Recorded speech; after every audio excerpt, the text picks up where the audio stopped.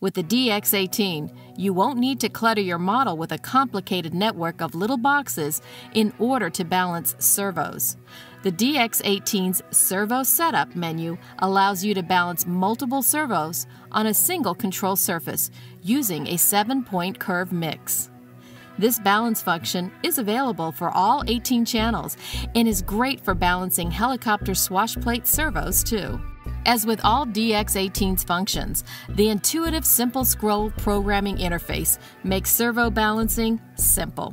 To show you how simple, veteran aerobatic pilot AC Glenn will walk us through the steps for balancing servos on a giant scale 3D model.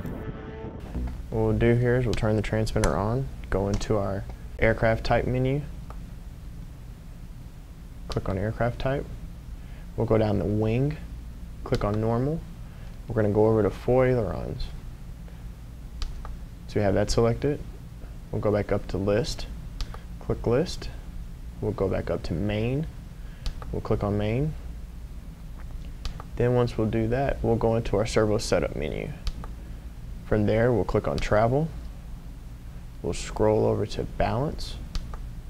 As you see, it has throttle selected as a, um, the first one is always going to be selected. Then we'll go take throttle and go to right aileron 1.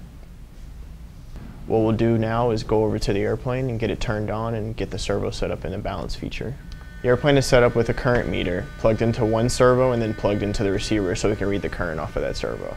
So now that we're in the balance feature, what we'll do is go to the center point for right aileron 1 and we're actually going to increase this. If you notice the sound's going to start going away for 1 and the current, the amps on the current meter is also going down. Now we're at zero, if you notice the servos are very quiet now. And now they're balanced. So now that we balanced the first aileron servo, it's actually now in balance with the second one. So with that being said, now they're synced together, so at center and at full stick and mid stick, they'll move together. And if you, if for some reason they get off, what you can do is go to the next point on the balance function screen, and if you move the servo to that point, then you can balance them together again if they get out of balance. To learn more about the Spektrum DX18 and to find a retailer near you, visit spektrumrc.com.